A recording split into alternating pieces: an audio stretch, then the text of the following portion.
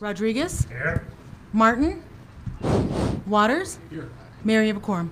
All right, let's say the pledge. Yes.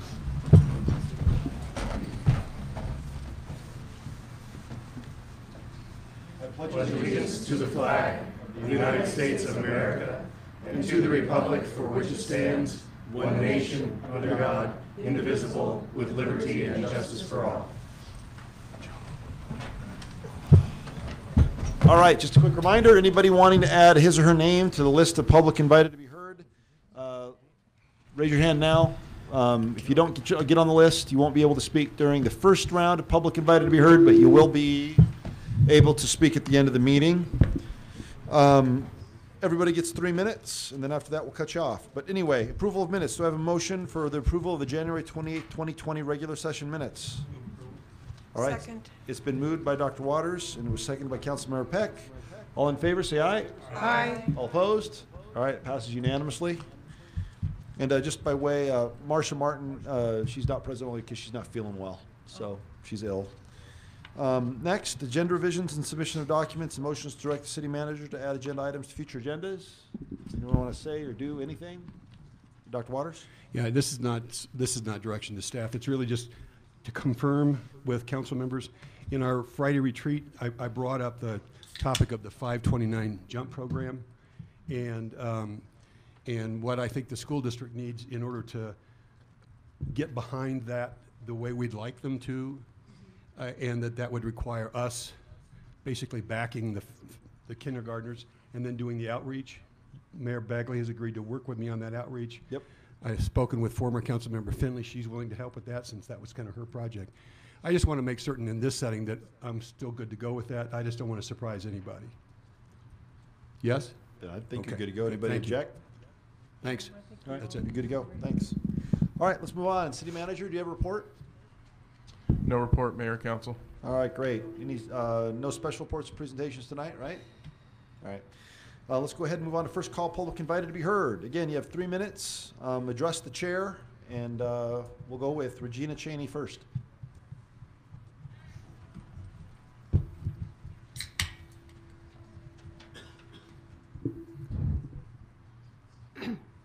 My name is Regina Cheney, and I live at 416 Main Street.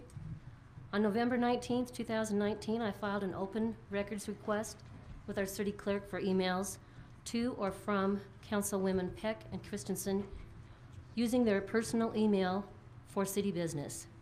I recall at the time Polly said she had six emails from her personal account for city business, and Peck said she had none.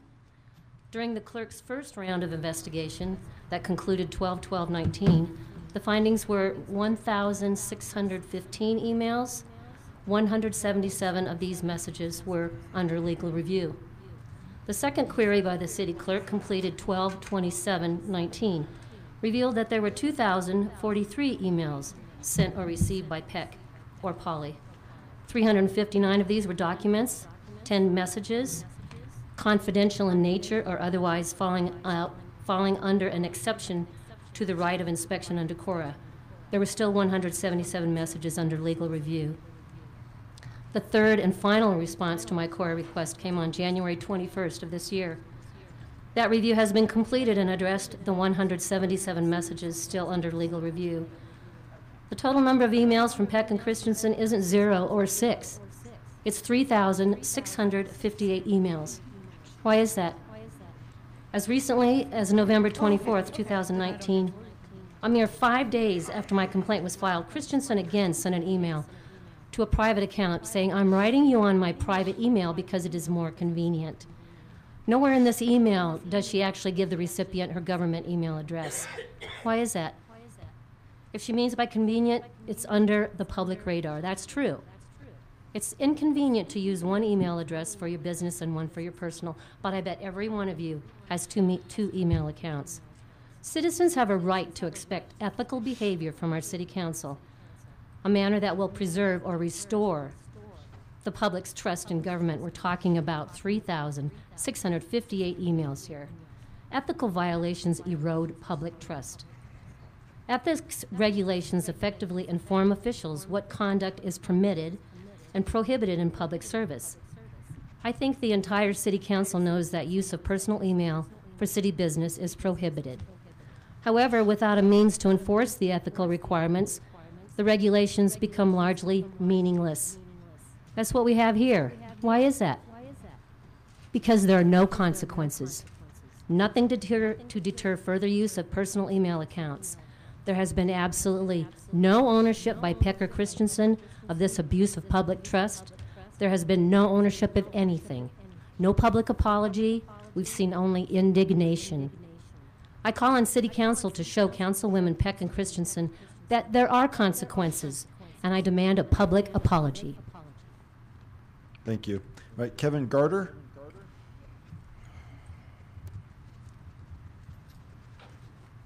That's Kevin Garten, but I won't uh, hold Garten. you accountable. for Thank you, my Mr. poor- Garten. for Thank my you. poor uh, handwriting. Thank you. You might Uh, want to. First of all, I'd like to thank you, uh, each and council member, for your service to the citizens of Longmont.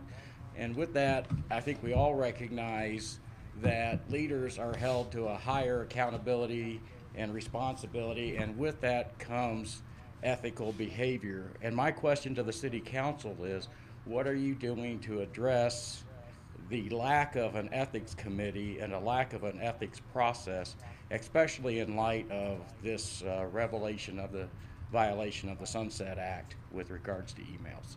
Thank you. Thank you. Uh, Justin Stober?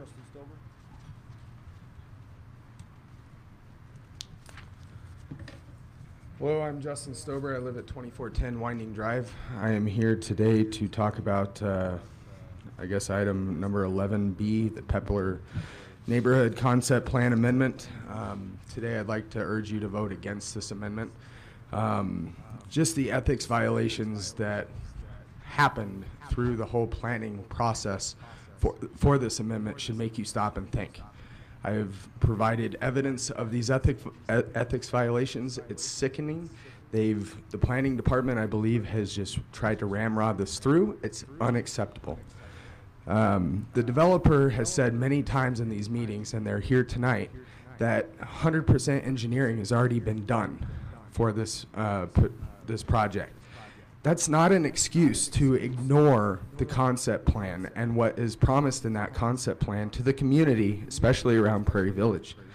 It's not an excuse. If they did 100% engineering work, that's on them.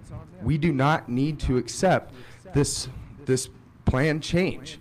What they have come up with and offered the city is two relatively useless pieces of land to try to satisfy this the, the uh, statement in the concept plan. It's not anything that can be used for civic purposes as dictated in the concept plan, and it's it's egregious. It's untenable. What they're doing is just ramrodding this entire thing through, and I'm I'm done with it. I'm sorry, but as council members, like, you guys need to look out for the community. All right? It's not just about a developer. The developers coming here and trying to give you two useless pieces of land that the city is going to say we can't do anything with, right? Of course, the, every department in the city is going to look at these little tracks and say we can't do anything with.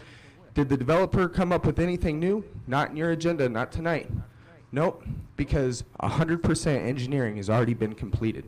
That is not an excuse just to approve this project going forward. They have a responsibility to the community around Prairie Village and to the, uh, the city residents for a land donation for civic purpose, all right? And what they're offering is nothing. They're hoping that you, the city turns it down. They're hoping that it- we turn it down. I'm not going to stand for it. I think it's wrong, and you know, I I've already provided the city planning department with all the evidence. I provided some of the council members here today with some of the evidence of the ethics violations of our planning department to get to this point. It's untenable and it's not right. Do not approve this concept plan change. Thank you. Thank you. Uh, Dwayne Leese?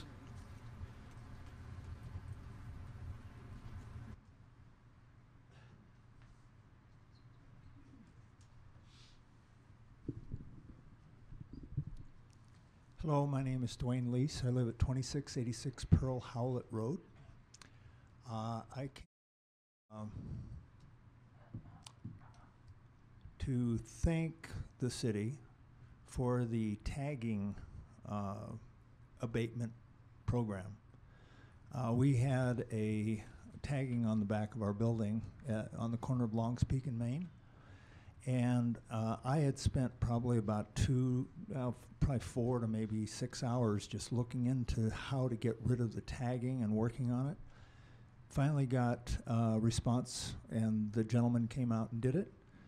But what my thinking is, is that there should be a very obvious and easy way for someone such as myself who can afford to pay for this service to be able to contribute to the city for the cost of what is essentially a, a valuable service to myself. I don't think it should be a uh, something that should be charged to every person in the community because some people can't afford it.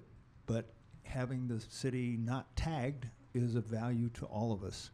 I think it's extraordinarily important. And I want to thank you all for the work that you do and hang in there. Keep working hard. Thank you very much. Thank you, Mr. Thank you, Mr. Lees. All right, let's go on to the consent agenda. Dawn, Ms. Quintana? City Clerk? Mayor, Do your thing. item uh, 8E, Resolution 2020-17 has been removed by staff from the consent agenda. It will be brought back due to an error in one of the attachments. So 8A is Resolution 2020-13, a resolution of the Longmont City Council approving the intergovernmental agreement between the city acting by and through its water utility enterprise and the Northern Colorado Water Conservancy District for location of a camera to monitor the St. Vrain Creek. 8B is Resolution 2020-14, a resolution of the Longmont City Council approving an intergovernmental agreement between Boulder County and the City of Longmont for the Environmental Sustainability Matching Grant Program. 8C is Resolution 2020-15, a resolution of the Longmont City Council approving an intergovernmental agreement between Boulder County, City of Boulder, City of Longmont, City and County of Broomfield, Town of Erie, City of Lafayette, City of Louisville, Town of Superior, Town of Nederland, Town of Lyons, regarding the Boulder Area Trails Mobile Application Project. And 8D is Resolution 2020-16, a resolution of the Longmont City Council approving the intergovernmental agreement between the city and State of Colorado Department of Labor and Employment, Division of Oil and Public Safety for compliance with the Elevator and Escalator Certification Act. All right, Dr. Waters? I move the consent agenda. Second. All right, it's been moved, the consent agenda has been moved by Councilman Waters and seconded by Councilmember Peck. Any debate, debate, dialogue, questions? All right, let's vote. All in favor, say aye. Aye. Opposed, say nay. All right, the con- that's enough. Yes, we're done. No, so th- th- that, that passes unanimously. All right, let's move on to ordinances on second reading and public hearings on any matter. First is nine A, ordinance twenty twenty 8 a bill for an ordinance authorizing the city of Longmont to execute a lease extension of real property known as eleven forty Boston Avenue to Longmont Win Air Company. Are there any questions from council? Does staff has a report, have a report, anything like that? All right, seeing none, let's go ahead and open this for a public hearing on ordinance twenty twenty 8 Would anyone in the public like to speak on this matter? All right, seeing no one, let's go ahead and close the public hearing. Can I have a motion? All right, I, uh, Councilmember Peck. I move uh, z- zero two, zero twenty twenty oh eight. I'll second that. It's been moved by Councilmember Peck, seconded by myself. Let's vote. All in favor, say aye. Aye. All opposed, say nay. All right, passes unanimously. All right, uh, no items have been removed from the consent agenda, so let's go ahead and uh, move on to general business. 11A, DSC and Creation Station Space Needs. Mayor Bagley, members of council, Joni Marsh, Assistant City Manager. So the item before you this evening is a request for council to give direction regarding the Creation Station, which is the little building attached to the Development Services Center. Used to be a print, the print shop for the city.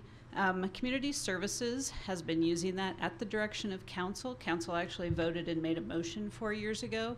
Um, at this time, we're really out of space at the Development Services Center and are looking for um, places to put staff, um, which don't exist. So we have spoken with Nancy at the library, Karen Roney, as well as um, Jeff Friesner at REC, and taken a look at what that programming looked like and that whether or not they would be able to relinquish that space, and they have determined that would be reasonable for them to do so.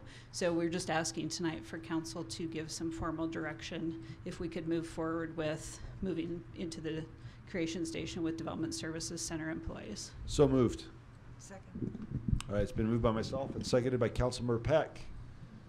Just a real quick Um, question. hold on one second. Uh, Mayor Pro Tem Rodriguez, for the record. Go ahead. Sorry. Thank you, Mayor Bagley.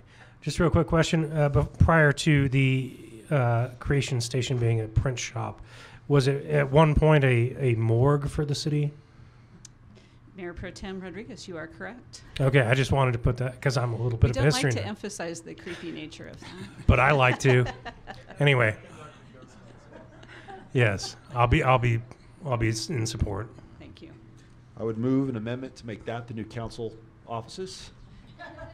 I'm just kidding. Dr. Waters? Uh, wa- Was it also used as a makerspace in conjunction with the library? Um, you know, I think at one point there was some use going on in that space prior to really the conversion to p- legitimate programming that went from the library and the recreation center, yes, for So a short from one time. extreme, from a morgue to a makerspace. Yeah. It's pretty versatile space. Um, So the one, the, the, the one point I would want to make, I understand it has not been utilized well as a makerspace. Uh, But I do want to make the point that um, the library is, is, is, um, we are overpopulated for the capacity in our library, in my opinion, as the, as our liaison to the library board. Uh, it is the reason we're going through a feasibility study. And just a reminder that as we, as we receive the results of that feasibility study, uh, we've got, uh, for people who care about makerspace, we've got a, a, a series of meetings scheduled uh, now through the rest of this month and into March. Uh, the- That feasibility study, I assume we're going to get uh, by the end of April, maybe. Um, And that's, and I, and I think that's a pretty close timeframe. A- And I'm, I'm assuming that we'll see in that feasibility study some recommendations or possibilities for um, kind of state-of-the-art makerspace in conjunction with what a 21st century library should look like. So I just want to make the point, I- as I drive by that, or you walk out of Ziggi's having met with somebody for, you know, some issue, and I look across and I see that space and think about what we, what we could be doing with the kind of, with, with, with state-of-the-art makerspace for our creative class in, in Longmont. And uh, I, I support, you need the space, I, am going to vote for this. Um, But I, but I want to make the point that we need space for those members of our community who have talents to bring and ideas to, around which they want to create. And I want to keep that high on our list of, or at least high, high visibility and high on the list of priorities as we go forward with the, with the feasibility study. Uh, Councilmember Christensen. Um, I, I understand we're all kind of, all the city offices really need, need more space. Um, I do think this is a good use of the Lashley Street Station because it'll help, it's right up the street from, uh, it's very close to the elementary school and it's also right up the street from the youth center. So there might be some more synergy to be gotten between those two places as well. So I do think it's a really good reuse of this, and, um, uh, but I, I also appreciate what, um, Councilman Waters is saying, the library uh, really also needs space, so we're just gonna have to figure out how to use our money wisely, but I, I think this is great because it is right across the street from the development services, so. All right, so there's a motion on the floor to allow staff to go ahead to change the use and occupy the ex-morgue of the city. Uh, So let's go ahead and vote. All in favor, say aye. Aye. All opposed, say nay. All right, that uh, motion carries and passes unanimously. Let's move on to eleven B, Pepler Neighborhood Concept Plan Amendment. It's continued over from one fourteen twenty. I believe staff has an update on the discussions pertaining to that little handwritten questionable phrase. So give us an update. Uh, correct, and I'm going to ask Don to, to make his way up closer to me so he can help me fill in the blanks. Um, so obviously there was a plat note uh, that existed um, regarding the development of this property. Uh, there was some concept plans. Um, I think it was ambiguous in terms of what was actually contemplated in there in terms of the plat note, and there was a number of questions. Um, we had, um, per council's direction, we had entered into conversations with the developer of that site, trying to find a solution based on some of the um, ideas that the council threw out during the previous conversation and some ideas that I and worked out with Dawn and we had real time in, in there and um, and um, you know we were we were moving through that very slowly. Um, the conversations were difficult in terms of what we were trying to accomplish.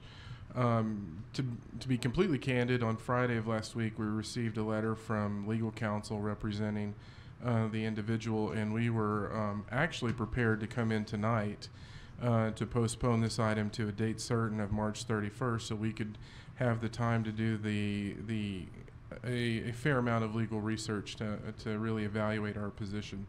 Um, prior to this meeting, we had a meeting with the applicants, and what we were trying to really work on um, was trying to fit in four deed restricted uh, single bedroom affordable housing units. And, um, and that was something we talked about. And then the question comes in well, what is a civic purpose? I think what I was trying to really work off of is that the council has set a goal of affordable housing being important to us, and, and the civic purpose was of providing affordable housing. And evaluating that concept, we were getting into a number of setback issues. There were issues related to how the parking was going to be structured, and it just started becoming more pro- problematic. Um, literally, a few minutes before this council meeting, we agreed to, um, with the developer, to essentially take the square footage that would have been associated with those one bedroom single family units um, at a rate of three dollars and seventy five cents a square foot, which is consistent with other things that I'm working on uh, related to the Affordable Housing Fund. They would then just pay us an equivalent amount for those units, um, which amounts to twenty-one thousand dollars that would then be placed in the Affordable Housing Fund to be used for the purposes established, um, which is to provide uh, affordable housing to our community. Um, and so, um, from my perspective, and in working with uh, Teresa in this conversation, we feel that it really, the civic purpose that we're satisfying is that we're actually putting additional funding into the Affordable Housing Fund in order to um, help us um, provide affordable housing to our community. Granted, it's not, it's got to be accumulated with other funds. Um, but that's where we are today. Council can consider that option um, based on where we are in the conversations. My opinion is is um, based on the amount of legal research um, and the ambiguity in, in, in the plat note and what we have to work through, we think that is a equitable way to resolve this issue. Be happy to answer any questions. Councilmember Peck. Thank you, Mayor Bagley. Um, Harold, uh, these uh, affordable units, are they going to be uh, always affordable? Or are they going to be, when they're sold, be sold at market value? So, um, because of the issues in terms of placement with the setback, there's not going to be affordable units. They're going to pay us three dollars and I seventy-five cents a misunderstood square that. foot Okay, to uh, account for that piece. okay, I misunderstood. Thank you. Councilmember Christensen. Um, I realize that this will not s- uh, please everybody, and that uh, who lives in that community who were expecting some um, civic element in that community. Unfortunately, because of the way this contract was written a long, long time ago, people, nobody's here from then, maybe Joni, um, but th- this contract was not written in a way that was very clear, and therefore, um, I do think that because we did not, it was not specified how much land or the location of land, um, I don't, I think this is probably a good deal because, um, this does serve civic purpose. It doesn't turn over, the, the- these, this was an agreement that gave the taxpayers some land was secured for the taxpayers of this city, and I'm not willing to turn over taxpayer land for nothing. So, um, the taxpayers are getting something for this at large. The people who live in that neighborhood are not getting something particular, but they are particular to their neighborhood. But the, as citizens of this city, they are getting something in return, which is some affordable housing units that we'll be able to um, get for, for this um, payment in lieu. So I uh, would vote for this. Thank you. Mayor Pro Tem Rodriguez. Thank you, Mayor Bagley. so, uh, is there a payment in lieu or uh, some sort of agreement concerning the regular portion of the development, not the the two lots that were designated as civic usage? So a little bit of history on that property. Um, when that property originally came in the development process, um, they uh, made the contribution of land, which currently houses uh, Spring Creek and Fall River, uh, which uh, met the affordability, the affordable housing requirements uh, for the broader development of Prairie Village. Um, if they had have put those four additional units, it actually would have been beyond I think the, the required uh, affordable housing piece. Council actually voted on uh, saying that they had satisfied their affordable housing requirement based on those original land donations um, in a previous action. Um, this is really above and beyond that. Okay. uh, And so, in, in essence, the, the development has satisfied, according to applicable ordinance now, according to at least council's decision, Correct. the the you know inclusionary requirements, and so therefore, uh, the proposal on the table is that these two small uh, outlots, if you will, uh, will then be uh, a payment in lieu kind of concept Correct. towards the affordable housing um, initiative, and as such, because of where we're at in the current economic market for for providing housing in our city as well as regionally. Uh, any sort of contribution to the affordable housing fund is to me a civic contribution and much more usable than say 5000 square feet of what would be considered pocket park at, best uh, as i said jokingly to the mayor i'm like uh, at the last conversation about this is no, it's not much better than most people's backyards uh, as far as single family detached homes are concerned, as far as the size. Uh, and I think the problem really lies with the non prescriptive nature of the original uh, writing of, of the civic contribution. It did not prescriptively say a certain amount of square footage or even a usage of, of that, that uh, donation. And I think that's where we really get into the weeds here a little bit as far as what the Planning and Zoning Commission had to decide on, as well as what we have to decide on here at City Council. And I think that overall, uh, allowing the contribution to the Affordable Housing Fund is probably the best way forward, considering the utility of what's been proposed. Uh, Dr. Waters? Thanks, Mayor Bagley. Um, I, I get the concept.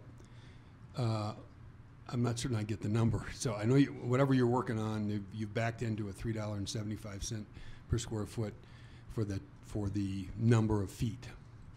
I think the combined what what was the combined? remind 5,600 square Yeah, okay. foot. The two, but the two parcels. what I what I am wondering about is uh, that that you've been working on something, but we do have a number in our ordinance, an inclusionary, uh, uh, the inclusionary zoning ordinance, for a payment in lieu of seven dollars and sixty-two cents or ninety-two cents per square foot as a payment in lieu. Hmm? Yeah, I, I, we didn't look at that because we had already, s- s- they had already satisfied that component. and I get so, that. yeah. I get, I Right, get that. right. I'm not questioning Right. the, over, over time, uh, the serious commitment the developers made to land donations and what we've been able Mhm. to do with it as we're, as we are moving people into the Fall River Apartments as I speak, or, you know, at this time. But it still begs the question, uh, if we're, if we're gonna do this in the name of a cash donation or contribution to the Affordable Housing Fund, uh, why we would not defer to our ordinance of seven dollars and sixty-two cents, ninety-two cents. Thank It- you. it- So it's seven ninety per square foot for finished market rate for sale housing, and a dollar ninety per square foot for finished market rate rental housing. Yes, those are the numbers I recall. Right. I- Well, I was not quite recall. The uh, finished market rate housing at seven ninety-two as opposed to sixty-two. I still wonder why, I understand that's more money, uh, that some, from a developer, it's also more money in greater, greater civic uh, value. Right. Why not that number? And I think part of it was too, is that was sort of, when I looked at it based on the three seventy-five, that was raw land. And, and, and that's, that's how we applied the raw land component to this. And so that was the, the genesis of the three seventy-five. Thanks. Councilmember Peck? Thank you. Um, this is actually, my statement has to do to the developer. Um, when we got this in our ordinance the last time, w- according to our council com, we had two sections, uh, one on east, one on each side of this development that you were gonna donate. I was not I was not happy that the developer came up and at the last minute said, oh no, it's only going to be one part. So everybody was, was taken aback, really, both staff and council. And this last minute uh, update that we didn't have a chance to look at or even discuss in our ordinances or in our council com, to me, that is unacceptable. Um, if, if a developer is going to be bringing something to us, they need to do it in time for the council to be able to look at it, to study it, to understand what's going on, as well as staff. So I, I just wanted to put that out there that we need to have more respect for staff and not just pop things in on them at the last minute, especially at the council meeting. So, my one statement. I think I- I- par- what's- part of the other question is, I think it, it was um, deed restricted rental, not for sale, is what they were looking at. And The dollar ninety. And I've got, I've got a question. What's the city, what's the city code on PUD now? If we wanted, do we allow PUDs? What we, didn't we take action, what- I mean, how does, how does that work now? Mayor Bagley, Don Burchett, planning manager. We allow planned unit developments today, um, and someone could apply for a PUD zoning and come in with an application for that. Specifically, how is this property zoned today? Today, they are zoned, um, the, it would be commercial, uh, I'm gonna get my, my zoning, one, one is zoned commercial, one portion of it, the other portion is zoned residential mixed neighborhood, Right. which so- is the So coun- multifamily. council took action to make this piece of property zoned, right? Correct. So the PUD plan, I mean legally, I don't think they owe us anything. And so them being willing to pay twenty-one thousand, um, I mean, we did away with that PUD. It's a new owner. They've got use by right, they've got commercial and residential zoned lots. And so, uh, I mean, they're willing to, I mean, I don't know if I'm, I'm right or wrong, but I That's mean. not but- the city's position, Mayor. no, I, I understand, but what I'm saying is, but we don't have a PUD on this property right now. We do have a PUD on this property? No, I know the city's position is that we do, but my position in looking at it is that at twenty-one thousand to get out of a legal quagmire, where their position would be that they don't, twenty-one thousand is a good, mm-hmm. I mean, I, I look at both sides, and everybody's got a good argument, and if they're, if they're willing to write a check for twenty-one thousand, avoid legal fees, and move forward with the development, and we get our affordable housing, and we don't have to spend any more time on this, I'm all for it. Um, you were touching on some of the questions as to why we were going to need to um, delay it to the thirty-first. Right. Okay, well, we don't have to now. I mean, unless we decide to, or, Yeah. yeah, so. All right, um, do we have a motion, one way or another? Mayor? Yeah. I Make a recommendation ahead. that if the council chooses to choose the option that uh, city manager presented, you would want to make a motion to remove that note from the concept plan, wi- but condition upon the payment of the twenty-one thousand to the city of Longmont. Should we do that first? All right, go ahead, Mayor Pro Tem. Uh, thank you, Mayor Bagley. I would, I would m- move to remove note 12, No, twelve, that was good. which is note 12, with the condition that we accepted 21,000. What's the exact number? 21,000 even? Twenty-one thousand, Twenty-one thousand, correct. Twenty-one thousand even in, as a contribution to the Affordable Housing Fund.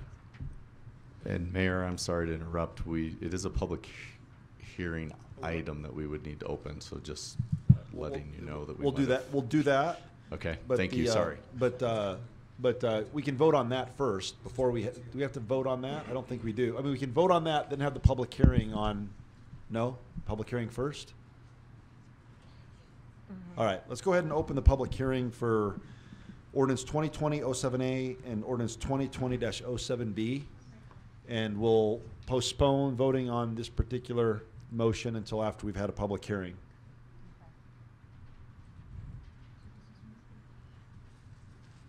Thank you, Mayor Bagley. Um, council members, I would still urge you to uh, reconsider what I've heard tonight. Um,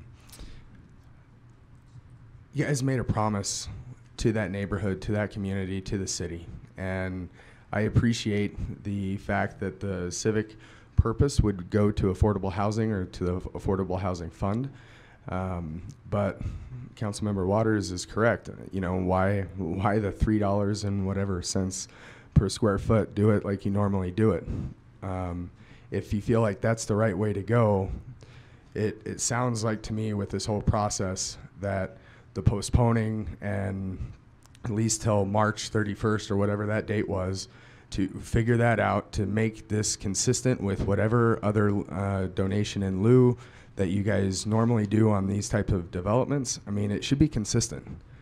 All right. I mean, I I think that it's wrong. I think that people made decisions in that neighborhood based on that concept plan, based on what the city said it was going to be, and now it's something completely different. I understand there's new zoning and there's all sorts of stuff that's happened in the uh, past years. I get that, but I'm just asking you to do what's right. Do what's right for the community surrounding that uh, project, and do what's right for the city of Longmont. Taking twenty-one thousand dollars just to me isn't enough. I mean, it, it's not consistent with any other donation in lieu or land or whatever that's called, right? It's not consistent with what you've done before. And this developer, DR Horton or its subsidiary D, DHI, I mean, they, they have the money. I mean, why are they nickel and diming the city? They're just trying to get a, a, around this because they already have 100% engineering, design drawings ready to go. And I mean, that, that to me, it's, it's insulting. It should be insulting to you and it's insulting to the city.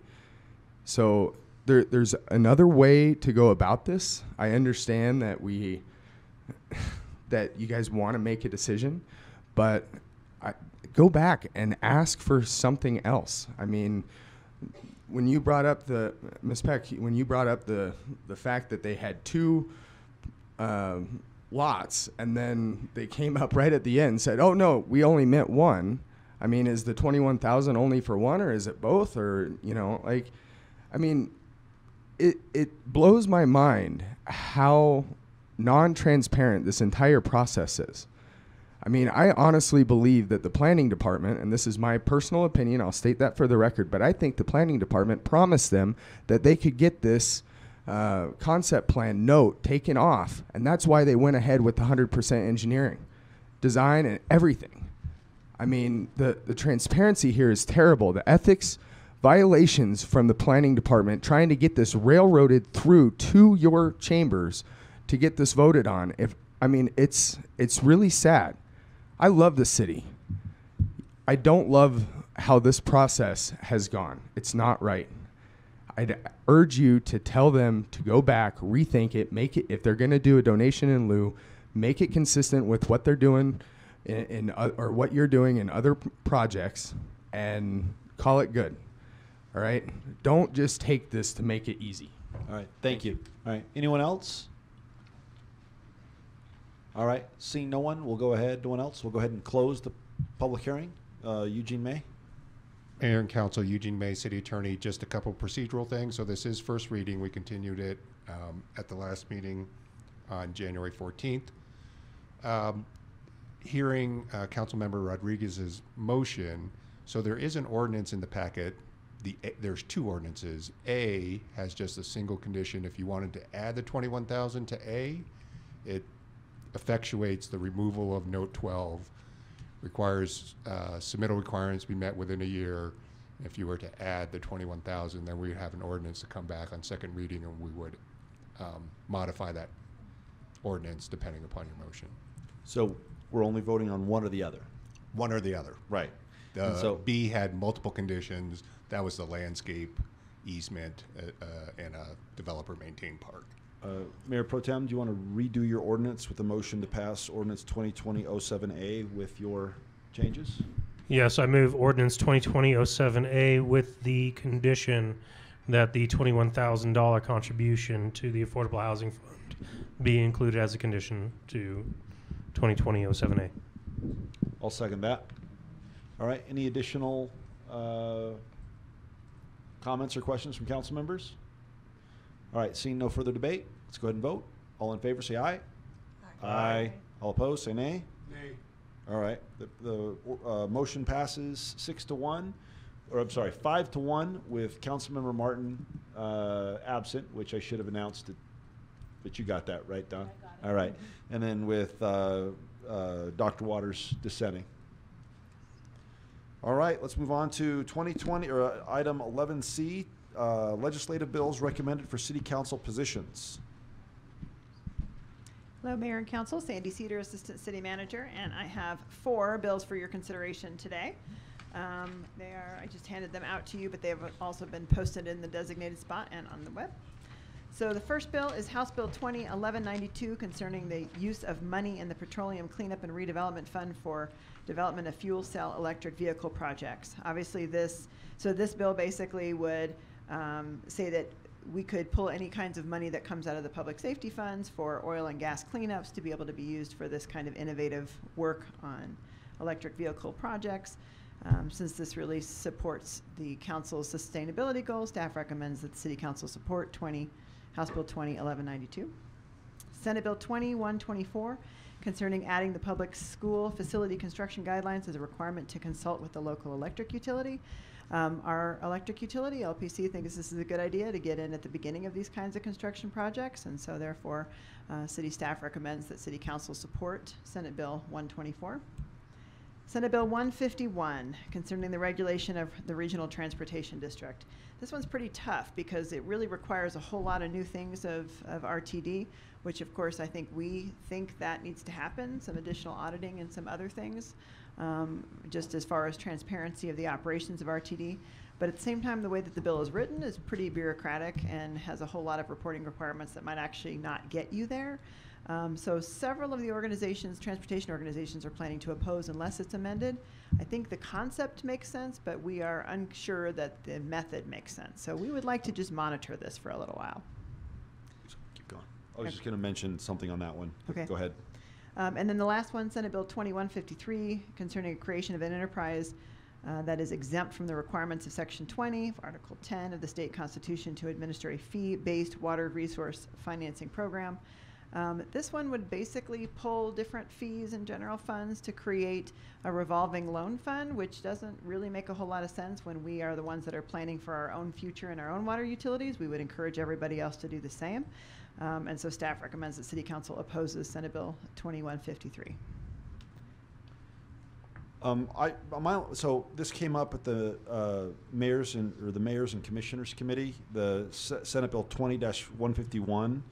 Um, all it's doing is adding four new positions to the RTD board. It's going from fifteen to nineteen, which, the what? I oppose that. Right, yeah, and so, so do I. And so, I mean, I, I know that there was some talk at the Metro Mayors, or the, the Mayors and Commissioners Committee, or the MCC, um, because I know that there were allies who were championing the bill, and we didn't want to hurt their feelings, and people were kind of hesitant, and, but at the end of the day, I personally think that what needs to happen, and again, I think they need to redistrict, like, just like we do at a state and national level, RTD, the RTD board, keep fifteen, but adding more, subtracting more, unless they redistrict to make it proportionate, there's no solution. So going from 15, you know, disproportionate seats to 19 is just going from bad to worse. And so I, I actually move that we oppose Senate Bill 20-151. Councilmember Peck? I agree with the mayor. So that's a Um, second. You- That's called a second. I'll call that a second. All right, it's been moved and seconded by myself and Councilmember Peck. So, uh, NATA, the Northern Area Transportation Authority, also opposes this because of the uh, addi- addition of new board members. But um, uh, the part, the point here in this statement that um, reporting audits, I also want to say that NATA is getting a very deep audit of RTD. Some of these things we're already going to do. We don't need a bill. So that's my input. All Mayor right, Bagley, members of council, certainly from RTD, that's what we've heard, is that all of the stipulations of the bill are already things that are required of them. And so the only real change is the board member change. Right. So- So, I mean, I don't know why we were, I mean, anyway, I know why we're hesitant, but I still think we should express concern. So, Absolutely there's a council's motion and a prerogative. second. So the motion is to go ahead and oppo- uh, direct staff to oppose Senate Bill twenty one fifty-one. All in favor, say aye. Aye. Opposed? All right, cool. So that motion passes unanimously with Councilmember Martin absent. Um, uh, we still have three others, however. Do we have a motion? Councilmember Peck? I move the slate of bills minus uh, SB 2151, period, Follow All the staff recommendation. As recommended by staff. as recommended by staff. I'll second that for you. All right, it's been moved by Councilmember Peck, seconded by the mayor. Uh, Any, any further question, dialogue, or debate? Councilmember Christensen? No, I'm trying to fix my mic. All right, Dr. Waters? Just to clarify, we are, we're talking about supporting the two bills that the staff recommends we support and opposing the third, right? Thank you. Correct. Yes. All right, seeing no further discussion or debate, let's go ahead and vote. All in favor? Aye. Opposed? All right, that passes unanimously with Councilmember uh, Martin absent. I do have one other question. Where, have we, did we take a position on Senate Bill 93? Hang on one second. That, that's Mike Foote's uh, arbitration bill. Uh, arbitration.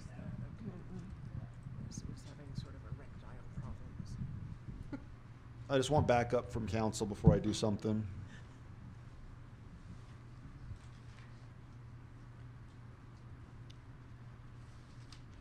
Council has not taken a position on 93. Right. So I guess the uh, uh, I don't know why. So the Metro Mayor's Caucus, which I usually don't go to, because we can talk about that in private if you'd like.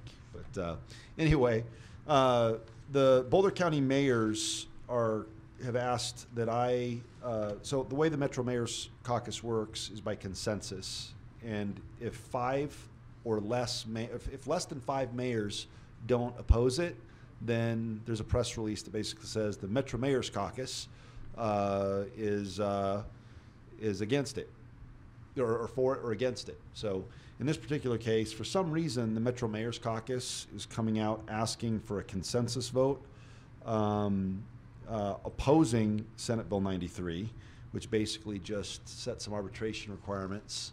Which I really don't understand why this rises to the importance of of uh, I don't get it, but I do know it's really important to to uh, the other mayors in Boulder County, and have asked that I uh, join them in opposing uh, their opposition, and I was going to do that. Um, What is the arbitration for? so, the the uh, it has to do with uh, again sex assault victims. I think so. Let Okay, me do you want to? Can you read? Can you pull it and just let us know?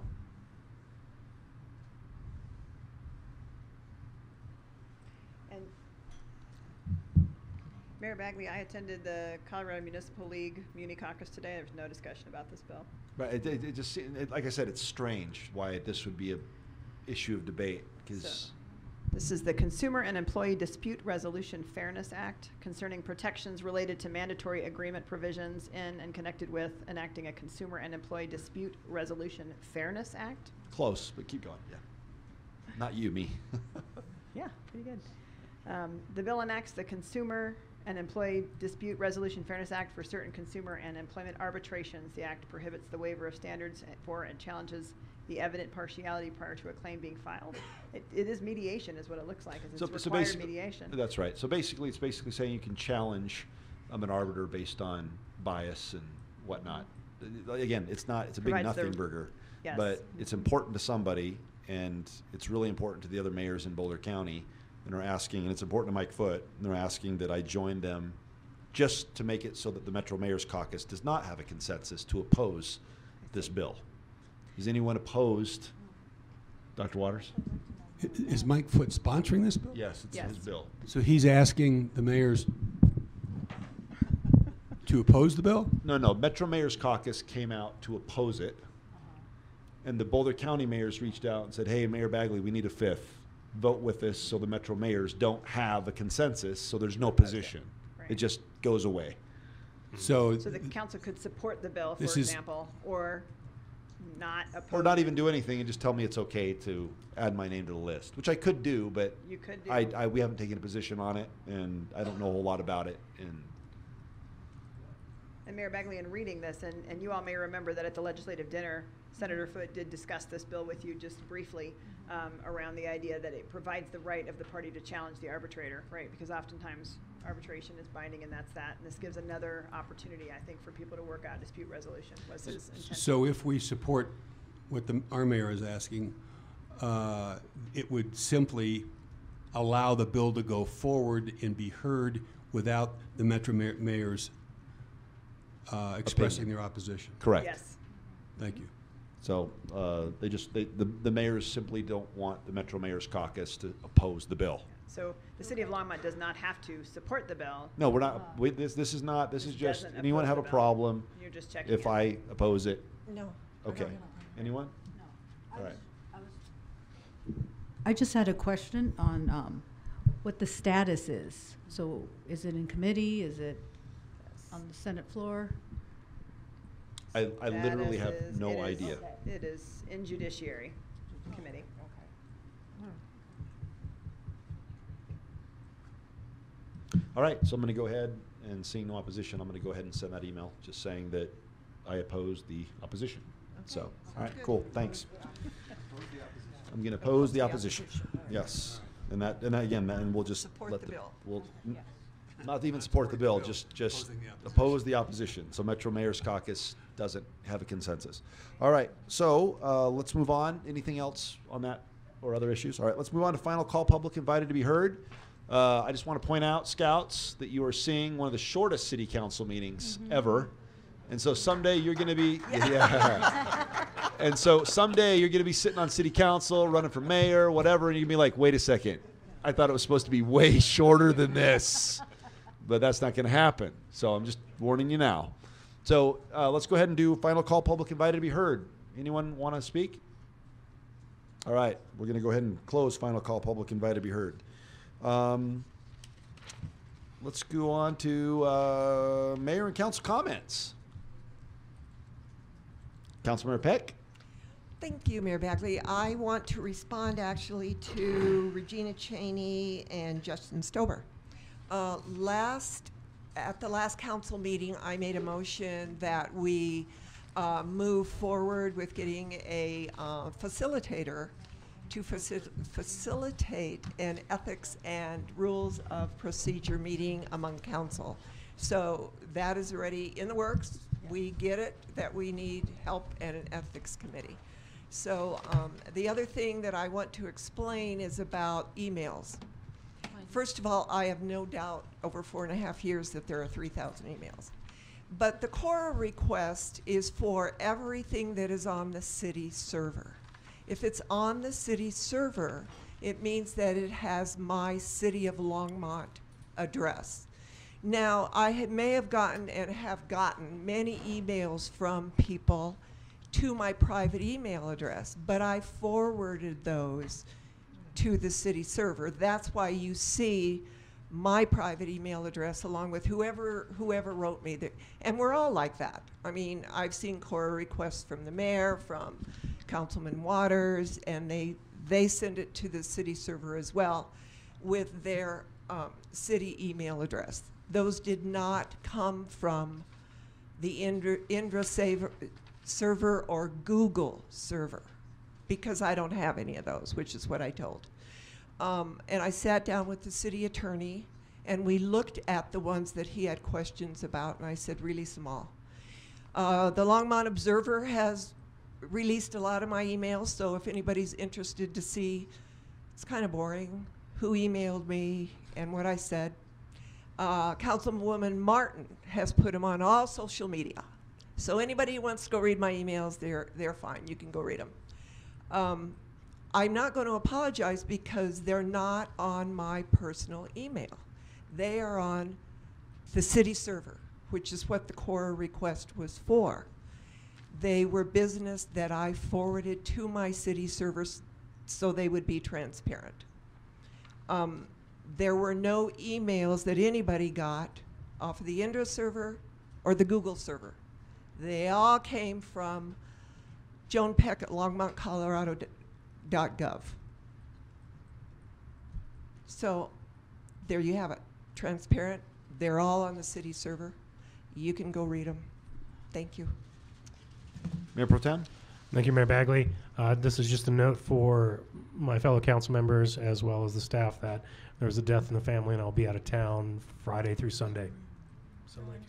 Sorry to hear that. Dr. Waters? I, uh, just for the purpose, for the sake of my own clarity and how I approach this issue of emails, um, uh,